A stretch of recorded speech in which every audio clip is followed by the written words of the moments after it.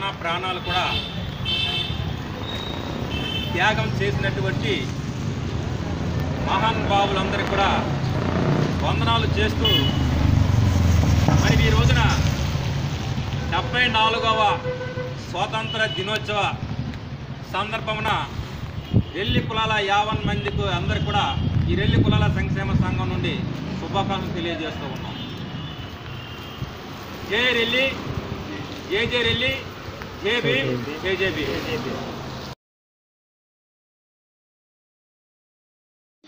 తేజం మనదే దేశం మనదే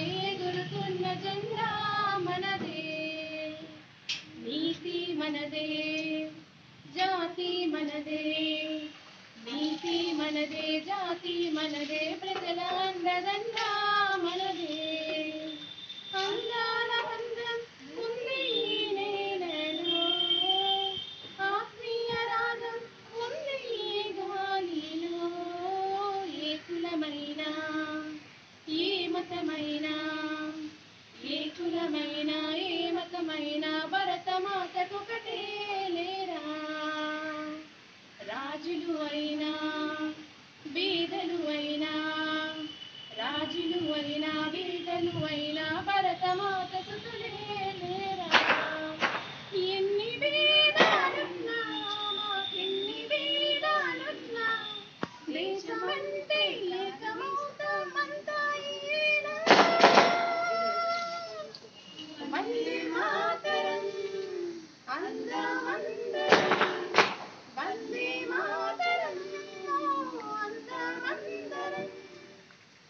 దేశం మనదే తేజం మనదే దేశం మనదే తేజం మనదే ఎగురుతున్న జెండా మనదే. నీతి మనదే జాతి మనదే నీతి మనదే జాతి మనదే ప్రజల అందదండ మనదే.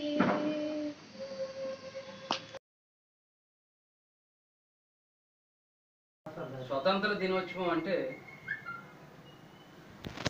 వందల సంవత్సరాల పాటు బ్రిటిష్ వారి పాలనలో మగ్గిపోయామని బానిసత్వంలో ఉన్నామని బ్రిటిష్ వారు మన నెత్తురు పీల్చి శక్తిహీనులుగా చేసేవారు కనుక బ్రిటిష్ పిశాసుల నుండి మనకి విముక్తి లభించిందని బానిసత్వం తొలగిందని ప్రపంచానికి సాటి చెప్పడమే స్వతంత్ర దినోత్సవం యొక్క ఉద్దేశం. అలాగే స్వతంత్ర పోరాటంలో ప్రాణాలు కోల్పోయిన వారికి జైలుల్లో మగ్గినటువంటి వీరులకు అమరవీరులకు తలంచుకుంటూ ఆనందంతో కూడినటువంటి కన్నీళ్ళను ఆనంద బస్పాలుగా అర్పించడమే స్వతంత్ర దినోత్సవం యొక్క ఉద్దేశం. మరి ఎందరో మహనీయులు త్యాగాల ఫలితమే ఈరోజు మనం స్వతంత్రాన్ని అనుభవిస్తున్నాం మరి ఆనాడు మహాత్మా గాంధీ గారు కానీ జవహర్లాల్ నెహ్రూ గారు కానీ వల్లభాయ్ పటేల్ గారు కానీ నేతాజీ సుభాష్ చంద్రబోస్ లోకమాన్య బాల గంగాధర్ తిలక్ లాలా లజపతి రాయి చిత్తరంజన్ దాస్ మాజీ రాష్ట్రపతి బాబు రాజేంద్ర ప్రసాద్ ఆంధ్రకేసరి టంగుటూరు ప్రకాశం గారు సుభద్రదేవి లాంటి ఎందరో మహిళామణులు స్వతంత్ర పోరాటంలో పాల్గొనడం జరిగింది. అంతేకాదు జాతీయ విప్లవీరుడు భగత్ సింగ్ తెలుగు విప్లవీరుడు అల్లూరు సీతారామరాజు లాంటి వారు అతి చిన్న వయసులోనే స్వతంత్ర పోరాటంలో ప్రాణాలు కోల్పోయారు. మరి ఇంతమంది త్యాగాల ఫలితంగా మనకు స్వతంత్రం పంతొమ్మిది వందల నలభై ఏడు ఆగస్టు అంటే ఈ తేదీన మనకు స్వతంత్రం వచ్చిన తర్వాత మన దేశాన్ని అనేక రకాలుగా అభివృద్ధి పరుచుకుంటూ మనం ముందుకెళ్తూ ఉన్నాం. ఎన్నో రంగాల్లో ముందున్నాం ఎన్నో రంగాల్లో ముందుకెళ్తున్నాం. విద్యా రంగంలో కానీ వైద్య రంగంలో కానీ వ్యవసాయ రంగంలో కానీ శాస్త్ర సాంకేతిక పరంగా మనం ముందుకు సాగుతూ ఉన్నాం.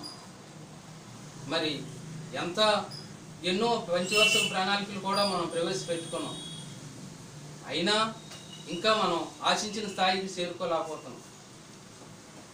సమాజంలో ఈరోజు కూడా సుమారు నలభై రెండు శాతం మంది దరిద్రకు దిగువనే ఉన్నారు. వీరంతా ఆకలితో అర్ధాకులతో అవిద్యతో అనారోగ్యంతో మురుకువాడల్లో ఇరుకు గుడిసుల్లో జీవిస్తూ ఉన్నారు. వీటిని అన్నిటికీ కారణం అధిక జనాభా ఒక కారణం అయితే పాలకుల యొక్క నిర్లక్ష్యం కూడా మరో కారణం. అలాగే మనమంతా కూడా ఒక కారణమే. మనలోనూ స్వార్థం పెరిగింది. మనలోనూ హింసాతత్వం పెరిగింది. మనలోనూ మతతత్వం పెరిగింది. మనలోనూ కులతత్వం పెరిగింది.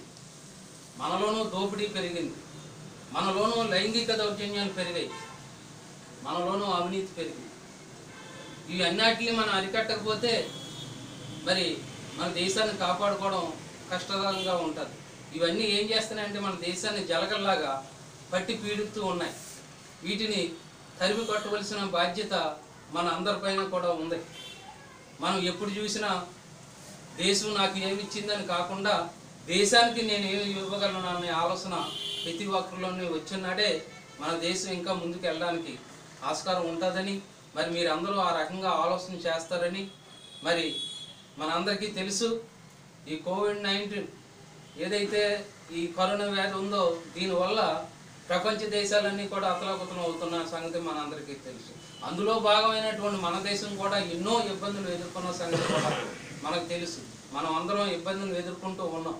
అయితే మనం ప్రభుత్వం ఇచ్చినటువంటి ఆదేశాలను పాటిస్తూ ఈ కరోనాని జయించి మనం రాబోయే రోజుల్లో మరి అభివృద్ధిలోనికి ముందుకు వెళ్ళాలనేసి వెళ్ళగలమనేసి ఆశిస్తూ మరి ఈ కష్టకాలంలో మరి సరిహద్దులో ఎవరైతే సైనికులు రాత్రిపోకలు కాసి మనకి దేశానికి రక్షణ మనకి రక్షణ ఎలా కల్పిస్తున్నారో మరి డాక్టర్లు కానీ నర్సులు కానీ పోలీసు వారు కానీ పారిశుద్ధ్య కార్మికులు కానీ తమ ప్రాణాలను తెగించి మన ప్రాణాలను కాపాడడానికి తమ సాయి శక్తిలా పనిచేస్తూ ఉన్నారన్న సంగతి మనందరికీ తెలుసు.